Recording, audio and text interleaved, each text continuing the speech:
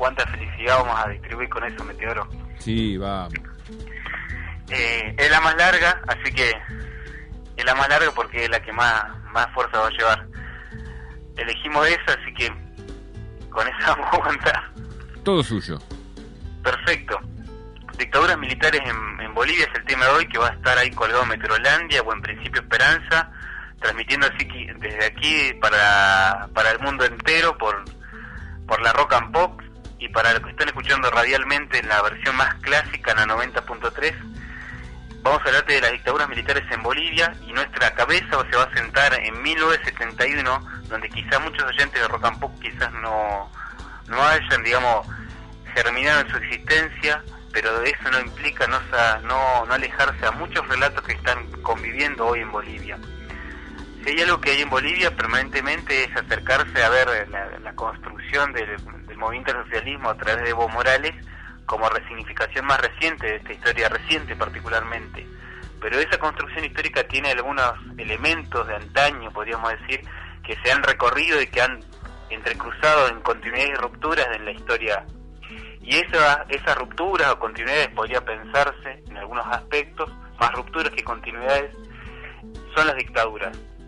Y en 1971, donde comienza, digamos, uno de los golpes más sangrientos de la historia latinoamericana, a través de Hugo Panzer, descendiente de los alemanes, pensémoslo, a través de una raigambre,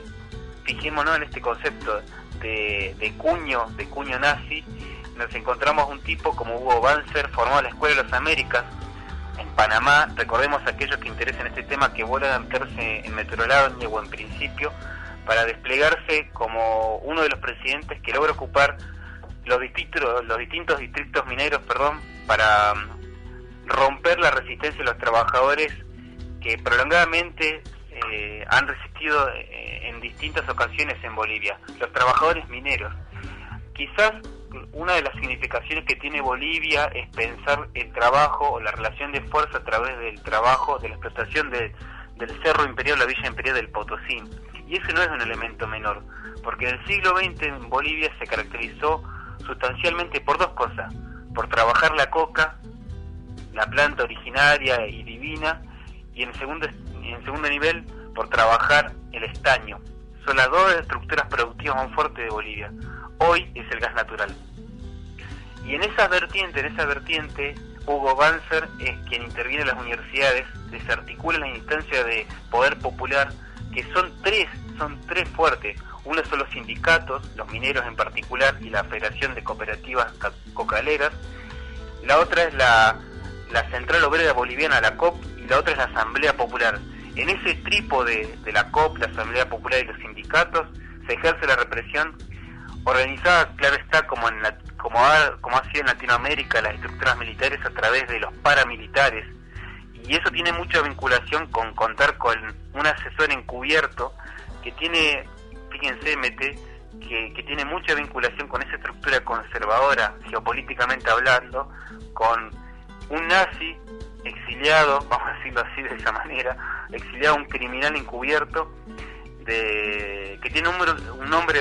conocido como es Klaus Barbie, refugiado en ese país desde los 50. Y eso tiene mucha incidencia porque en Bolivia, la, estructura boliviana desde su proceso revolucionario de 1935, que alguna vez te contamos, eh, tiene, mucha, tiene mucha incidencia la, la estructura conservadora en Bolivia, porque varios dirigentes políticos encontraron refugio, pensemos esto, y recién Meteoro un poco en chiste lo jugamos, muchos de los militantes que, que escaparon a la estructura conservadora de Bolivia fueron a parar a la experiencia socialista bajo la vía democrática de Salvador Allende y eso es muy interesante porque Allende eh, dio mucho asilo o dio como apertura diplomática a, recibir los exiliados políticos de, la Bolivia conservadora de Hugo Banzer. Y hay una cosa muy interesante que Juan Lechín, que es el líder de la Central Obrera Boliviana, que pasa su vida en una estructura pequeña en Bolivia para desalojarse nuevamente como exilio, como exilio político en el gobierno de Allende, para después pasar lamentablemente Argentina bajo la estructura militar y perder su vida en, aquí, digamos, en una estructura fuertemente conservadora como la dictadura, la dictadura en Argentina. Es decir, el recorrido, y acá nos metemos nuevamente a manifestar casi en tono de, no solamente de denuncia, sino de, de manifestar cómo las dictaduras latinoamericanas coordinaron, coordinaron su estructura de eliminación y exterminio y tortura. Y en Bolivia, en Bolivia, y recién hace un par de horas atrás lo, lo, por fuera del micrófono, que la economía o la dictadura, la economía de guerra de la dictadura de Banzer, eh, si bien su estructura duró siete años en el poder hasta 1978, impuso no solamente la desaparición forzada, la intervención de las universidades, la desarticulación del, poder popular, sino que también impuso el tráfico de cocaína y la corrupción generalizada de las estructuras de gobierno.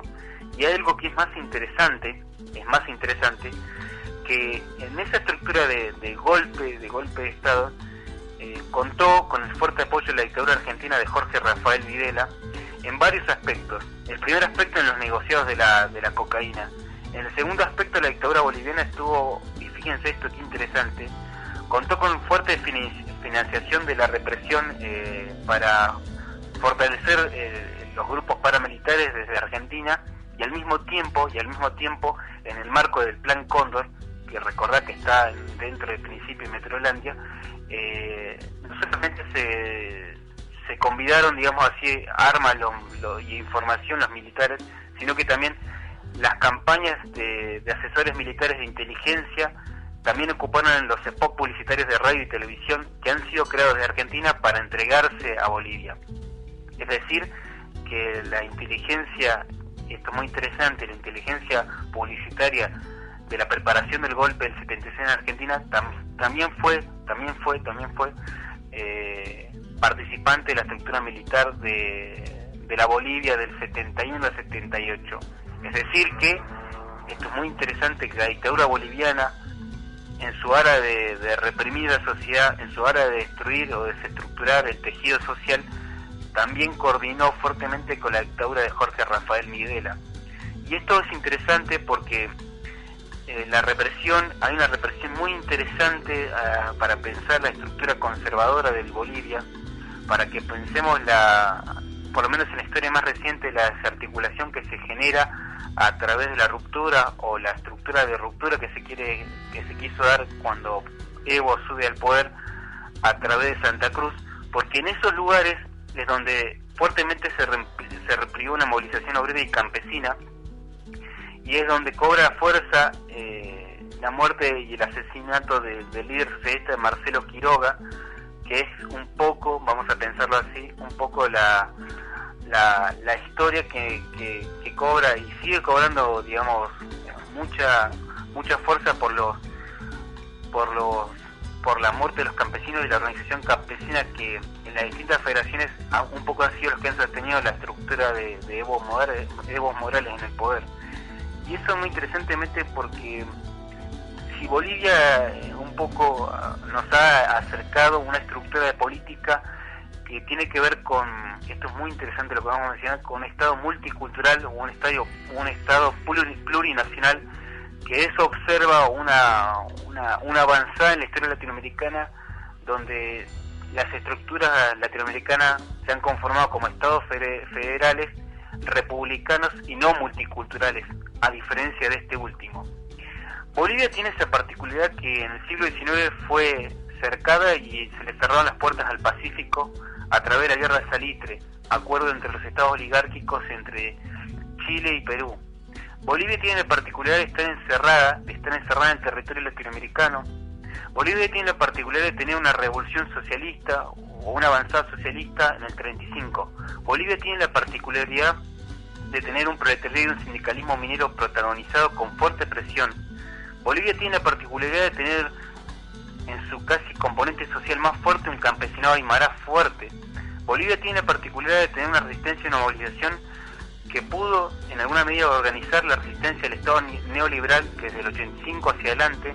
con fuertes características, pensemos esto, con una fuerte característica de impronta neocolonial, con una fuerte estructura racista en su sociedad, con una fuerte concentración de la riqueza en su sociedad, con una fuerte, esto es muy interesante, con una fuerte concentración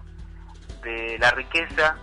como ser el, tercer país de los índices pones en Latinoamérica, atrás de Haití y Nicaragua. Bolivia tiene esa particularidad de ser uno de los países más golpeados, más golpeados por lo menos de nuestros vecinos eh, de territorio, junto con Paraguay, junto con Brasil, junto con Chile. Tiene, Bolivia tiene eso que, que es un país, que es un país que en su producción minera sigue siendo un factor estratégico, por lo menos en el tiempo reciente, que en sus pactos internacionales ha determinado el reemplazo ahora por el gas natural y que en su construcción, en su construcción social, eh, tiene, tiene la particularidad de tener, de tener uno de los países que festeja tener agua ahora, tener agua corriente, quizás esto parezca algo alejado para aquellos que abren las canillas y beben agua, quizás no sea alejado, pues cuando vamos al oeste de Neuquén no encontramos agua, quizás también tenga la particularidad que Bolivia no tiene eh, el gas o los gasoductos, eh, sea uno de los, de los bienes comunes que, no, no se distribuye, por lo menos en toda la estructura boliviana. Bolivia eh, vive en un antiplano, Bolivia produce y consume y, lo, que, lo, lo que las huertas dan. Bolivia tiene un fuerte diálogo con, con su nación originaria. Es muy interesante esta historia y solamente podemos contar o podemos relatar que una estructura represiva de 1971 a una estructura que convivió y dialogó o sentenció con una estructura militar hasta el 82, de un 82 a un 80 y largo que convivió con, una apertura fuertemente bajo el consenso de Washington a través del neoliberalismo y una llegada, una llegada de, desde las bases a través de Evo Morales, es lo que por lo menos en estos 30, 40 años de historia encontramos. Y en ese sentido, eh, seguimos todavía, digamos, eh, pensando cómo es ese país tan rico, tan rico y tan empobrecido en su historia a través de las alianzas que se han generado entre las clases dominantes y los militares, sigue resistiendo aún, ¿no? Sigue resistiendo y levantando la cabeza con fuertes, con fuertes convicciones. Y eso es lo que podemos contarte hoy o acercarte hoy aquí en la Rock aquí con el maestro Meteoro y en nuestros dos portales que siempre te mencionamos.